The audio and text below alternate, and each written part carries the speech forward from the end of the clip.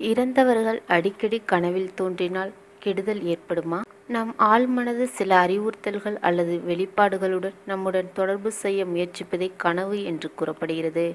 நமது கனவில் அடிக்கடி நம்மோடு நெருங்கி பழகியவர்கள் நமக்கு பிடித்தவர்கள் அல்லது தாத்தா பாட்டி என சில நேரங்களில் நமது கனவில் வருவது உண்டு. அவ்வாறு அவர்கள் வந்தால் வீண் பயம் நம்மை தொற்றிக்கொள்வதும் அது குறித்து சிந்தனையும் அடிக்கடி தோன்றி நம்மை ஒருவித பயம் கொள்ள செய்யும். எனவே இது குறித்து ஜோதிடம் என்ன கூறுகிறது என்று பார்க்கலாம்.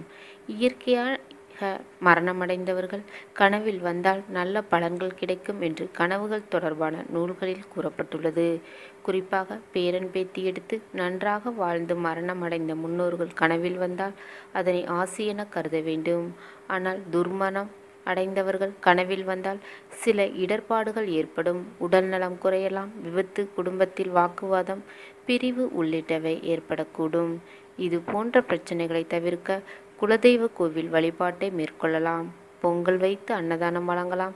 வஸ்திர தானமும் செய்யலாம். வயதானவர்கள் பெரியவர்கள் வாழ்க்கை முழுவதும் சிறப்பாக வாழ்ந்து இயற்கை எய்தியவர்கள் கனவில் வந்தால் கவலை கொள்ள தேவையில்லை.